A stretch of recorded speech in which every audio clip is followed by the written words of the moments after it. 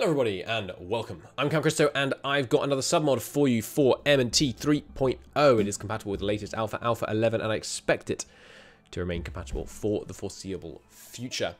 Uh, so far I've added ages back in, I've added uh, hegemonies, but now I've added the Emperor of China back in. So this was a system that already existed in uh, in Alpha 11, in, in 3.0. However, they had cut the Celestial Reforms and Decrees. Essentially, as far as I understand it, um, just because they hadn't had time to get to kind of you know balancing them to fit with the new systems yet.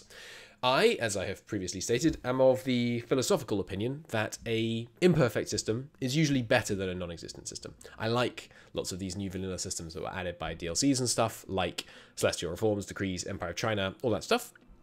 So I like to have that included in my game, even if it doesn't quite fit. Um, having this mod, it's all you need to do, by the way, is own Mandate of Heaven and uh, enable the DLC. Didn't did they did they make it so Empire of China is no longer required by um by uh for Empire of China uh, by Mandate of Heaven? Anyway, I don't recall. You may or may not need the DLC Mandate of Heaven. It goes on sale for like three quid. So just buy it anyway. it's Cristo advice from Cristo on finance. But anyway, all I've done is added them back in and I've nerfed them, basically all of them. Um, so for example, this one, oh, I haven't nerfed that one to be fair, but this one used to give you 5% trade efficiency. There's very little trade efficiency available in M&T um, because they don't like magic money, which trade value money kind of is. So I've got rid of that. I've tweaked this one to go from five, 10 to 5 core creation costs, same for this one.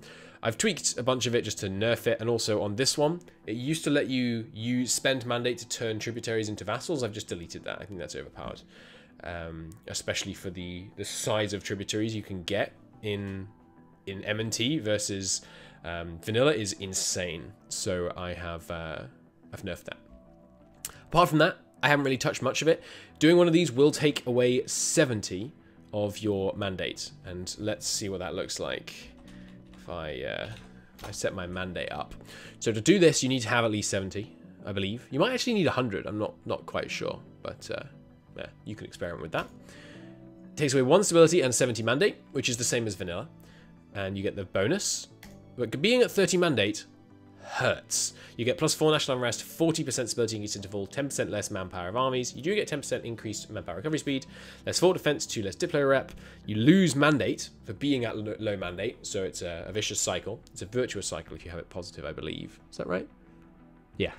Um, you get to design subjects, you lose garrison size, you lose centralization, and you lose meritocracy. So it's really bad to, to do one of these reforms, which is why I think it's okay still to, to have them in the game. You know, this one's pretty good. Plus one monarch admin skill. Pretty nice. Pretty nice. Um, and yeah, 5% core creation. Again, some of these are nice and worth having. These ones, I think less so. I should probably get rid of that one, actually, now I think about it. Yeah, I'll actually change this one. It shouldn't be national tax modifier. It should be... Um, Hmm, population census. We could make it tax mana costs, maybe. That would make sense. Maybe a 5% tax mana costs. Um, it's kind of annoying to have to do, though.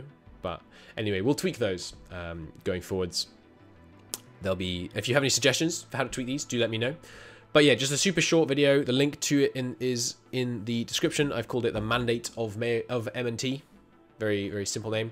Um, I've touched nothing else. All I've done is re-enable celestial reforms and decrees. If I find that some other element of the Chinese system is kind of broken or um, unbalanced or something in M&T, I'll probably add that to the submod. But there it is. And this is a submod that I intend to use in my World Conquest campaign, which will be as one of these fine Chinese nations. Expect the first episode of that coming out maybe shortly, maybe in ages. I'm not sure. I'm considering recording the entire campaign before I release any of it. Um, but I'm not sure I can leave people wanting more for that long because it might take me like a year.